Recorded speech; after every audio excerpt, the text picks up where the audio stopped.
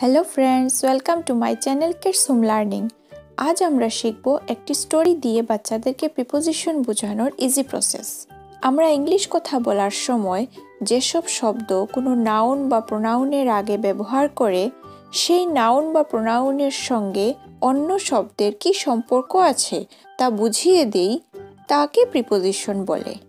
যেমন in on under into at, up, with, over, behind, from, for, to, of, beside. এখন story start করি শুনুন। The sun is rising in the hills পাহাড়ে সূর্য উঠেছে। Birds are flying in the sky পাখিরা আকাশে উঠছে এভাবে স্টোরি বললে বাচ্চারা বুঝে। The cock is crying on the roof of a hut মুরগ ডাকছে কুড়ে ঘোরের ছাদে। A cow is grazing on the field একটি গরু মাঠে চারণ করছে। A goat is eating grass beside the hut beside হলো পাশে। একটি ছাগল কুড়ে ঘরের পাশে ঘাস খাচ্ছে।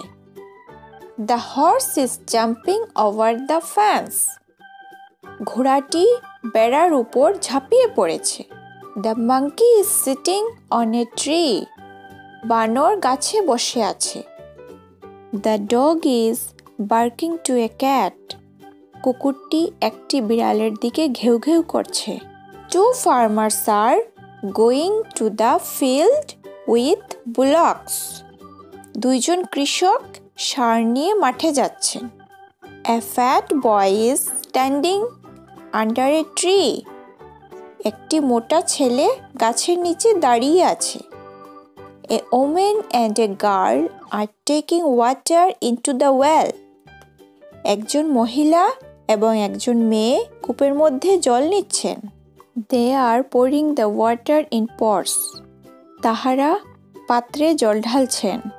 An old man is climbing up a ladder একজন বৃদ্ধ লোক একটি সিঁড়ি বেয়ে উঠছেন। তাহলে ফ্রেন্ডস আপনারা ওইভাবে বাচ্চাদেরকে স্টোরি বলে বুঝাবেন। দেখবেন বাচ্চারা খুব সহজভাবে বুঝে নিয়েছে। ডেসক্রিপশন বক্সে আমি পুরো স্টোরিটি লিখে দিয়েছি, আপনারা চাইলে দেখে নেবেন। আর যদি ভিডিওটি হেল্পফুল হয়, তাহলে লাইক শেয়ার আর সাবস্ক্রাইব করতে ভুলবেন না কিন্তু। Thank you thanks for watching